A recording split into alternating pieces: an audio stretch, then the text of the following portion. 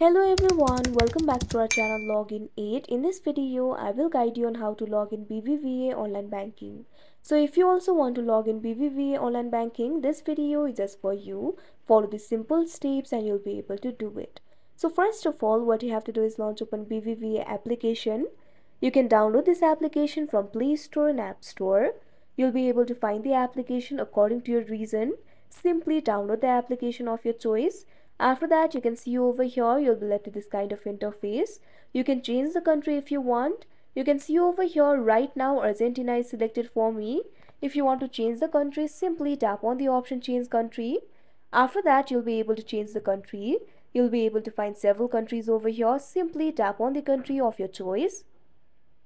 Now after that, what you have to do is enter the reference code. Simply tap on the field for reference code. Now enter the reference code over here.